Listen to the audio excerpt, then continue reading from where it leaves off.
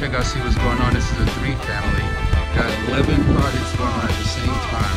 This is phase one. Pretty excited about this. I get this show you guys what phase one looks like. First thing we do is demolition. Got everything down to the beam so we can see, you know, the quality of what's behind the walls.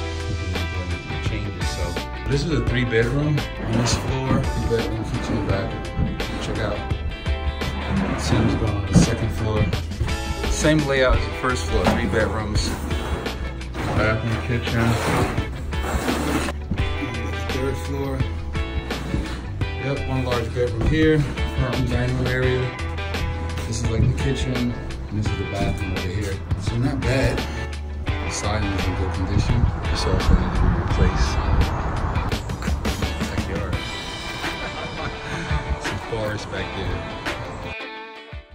All right, so one of the things about real estate that a lot of people fail to do is the follow up. Follow up with your GCs and contractors are very, very, very, is very, very important.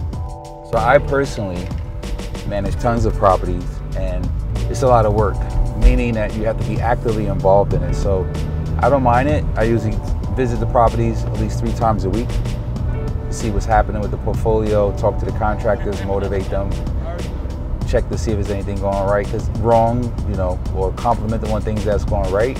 Um, especially if you have architectural drawings, it's very important to make sure the contractors communicate with the architect that there's changes going to be made and also communicate with the owner of the property, which will be you, if there's changes being made.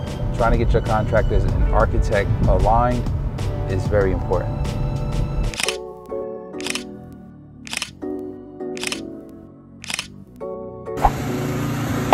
The siding on the exterior, did a new porch here, did some framing. The first floor apartment.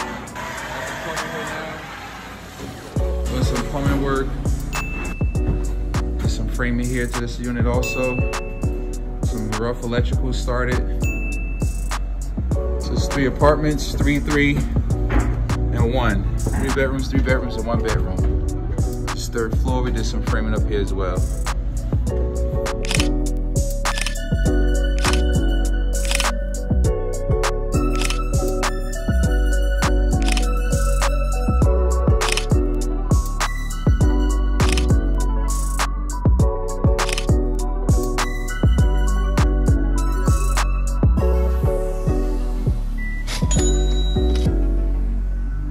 That I do, the stuff like, you know, the washer and dryers inside the apartment so the tenants don't have to leave out.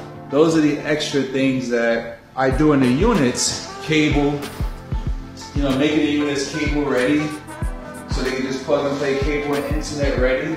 You know, little small things, right? Especially, you know, some of the things I do, like I have a nine unit building, a six unit building. I put free Wi-Fi for the tenants. You know, it costs me $80 a month and I can give the whole building free Wi-Fi, right? So those small things like that count.